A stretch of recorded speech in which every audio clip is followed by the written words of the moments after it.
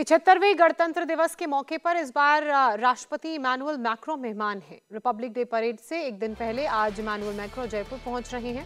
Macro Jaipur में आमेर का किला, हवा महल और जंतर मंतर जाएँगे, जहाँ वो पीएम मोदी से मुलाकात करेंगे। इस दौरान डेढ़ किलोमीटर लंबा रोड शो भी होगा। साथ ही दोनों देशों के राष्ट्राध्यक्षों के बीच द्विपक्षीय बातचीत से महत्वाकांक्षी रणनीतिक साझेदारी मज़बूत होगी, जिसकी घोषणा पिछले साल जुलाई में मोदी की पेरिस यात्रा के दौरान की गई थी। मैक्रो 26 जनवरी को दिल्ली के कर्तव्य पथ पर होने जा रहे पिछहत्तरवें गणतंत्र दिवस समारोह में बतौर मुख्य अतिथि शामिल हो रहे हैं। वो इस भव्य कार्यक्रम में शामिल होने वाले फ्रांस के छठे नेता होंगे।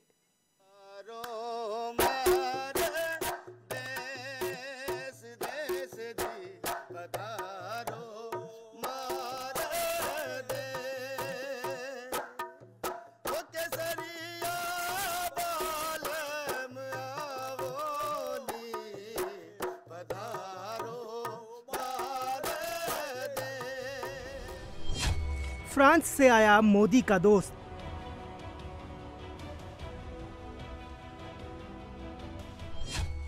मोदी के मेहमान का होगा भव्य स्वागत।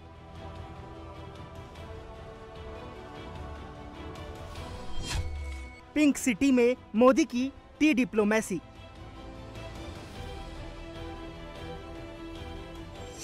भारत के पिछहत्तरवें गणतंत्र दिवस के मेहमान इस बार फ्रांस के राष्ट्रपति इमैनुअल मैक्रो हैं। लेकिन उससे ठीक एक दिन पहले आज फ्रांस के राष्ट्रपति मैक्रो जयपुर पहुँच रहे हैं, जहाँ पीएम मोदी के साथ आज मेगा शो होने वाला है। जयपुर में फ्रांस के राष्ट्रपति इमैनुअल मैक्रो की न सिर्फ़ पीएम मोदी के साथ मुलाकात होगी, बल्कि दोनों त्रिपोलियो से सांगानेरी गेट तक रोड शो भी करेंगे। दोनों नेताओं का ये रोड शो करीब डेढ़ किलोमीटर तक का होगा।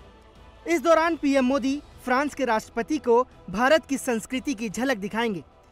फ्रेंच प्रेसिडेंट के साथ पीएम मोदी के इस मेगा शो को लेकर मुख्यमंत्री भजन लाल शर्मा खुद एक्शन में हैं।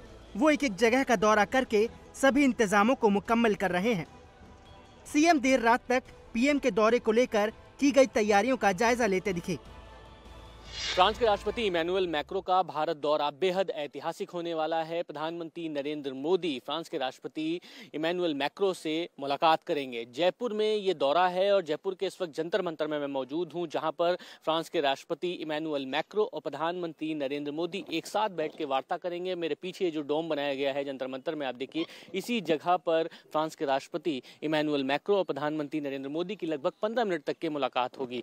जयपुर के इस जंतर मंतर में कार्यक्रम को एक विशेष तौर पर मनाने की तैयारी चल रही है। तमाम एसपीजी और जो अधिकारी हैं वो यहाँ पर बैठे हुए हैं। बताया जा रहा है, जिस वक्त प्रधानमंत्री नरेंद्र मोदी और फ्रांस के राष्ट्रपति मैक्रो यहाँ पर मौजूद होंगे, तब राजस्थानी जो वाद्य यंत्र है, रावण हत्ता और बांसुरी वादन का कार्यक्रम होगा। उसके बाद इसी जंतर मंतर से बाहर निकलकर एक शोभा यात्रा होगी, जिसको प्रधानमंत्री नरेंद्र मोदी और फ्रांस के राष्ट्रपति मैक्रो देखेंगे। शाम साढ़े पाँच बजे पीएम मोदी इमैनुअल मैक्रो का जंतर मंतर में स्वागत करेंगे। यहाँ दोनों नेताओं के बीच 15 मिनट तक बातचीत होगी। इसके बाद यहाँ एक भव्य शोभा यात्रा निकाली जाएगी। जंतर मंतर में फ्रांस के राष्ट्रपति का स्वागत राजस्थानी अंदाज में होगा।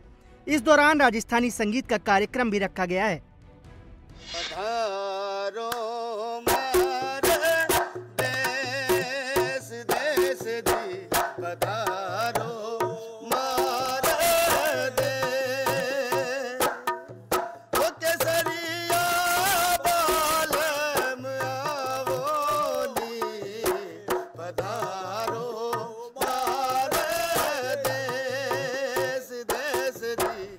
जंतर मंतर से निकलने के बाद पीएम मोदी और इमैनुअल मैक्रो हवा महल जाएँगे, जहाँ प्रधानमंत्री मोदी और मैक्रो सेल्फी लेंगे।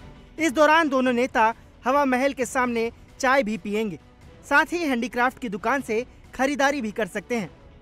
प्रधानमंत्री नरेंद्र मोदी, फ्रांस के राष्ट्रपति इमैनुअल मैक्रो के साथ जिस वक्त परकोटे में आएँगे, इसी रास्ते से आमेर जाएँगे और जंतर मंतर पहुँचेंगे। बताया जा रहा है कि हवा महल के सामने भी रुकने का कार्यक्रम बनाया जा रहा है ताकि फ्रांस के राष्ट्रपति इमैनुअल मैक्रो के साथ प्रधानमंत्री नरेंद्र मोदी इस हवा महल के सामने सेल्फी ले सकते हैं और इसकी तैयारी भी की जा रही है। एसपीजी ने तमाम तैयारियाँ की हैं और उसके बाद जब आमेर से इसी रास्ते से वापस आएँगे, तब त्रिपोलिया गेट से लेके सांगानेरी गेट तक के, यानी डेढ़ किलोमीटर किलोमीटर का प्रधानमंत्री नरेंद्र मोदी संग फ्रांस के राष्ट्रपति इमैनुअल मैक्रो का ये एक भव्य रोड शो होगा, जिसको देखने के लिए पूरे परकोटे नहीं, बल्कि जयपुर के अलग अलग जगह से तमाम लोग यहाँ पर आ रहे हैं और उसकी तैयारी पूरी हो चुकी है। कुल मिलाकर फ्रांस के राष्ट्रपति इमैनुअल मैक्रो का भारत दौरा बहुत ही ऐतिहासिक होने वाला है और प्रधानमंत्री नरेंद्र मोदी का परकोटे में ये दूसरा रोड शो है, जिसकी भव्य तैयारी भी हो रही है और उसको देखने के लिए लोग भी ज़बरदस्त उत्सुक हैं।